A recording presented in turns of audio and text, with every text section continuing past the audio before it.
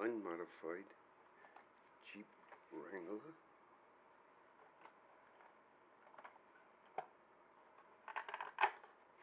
Fully bone stock. Same stuff. Oh, I did put wheel weights in, just so, yeah, keep it from trying not to flip over. But for bone stock, we are gonna see the difference between this and this. Fully, fully modified, unmodified. Two pounds, two ounces.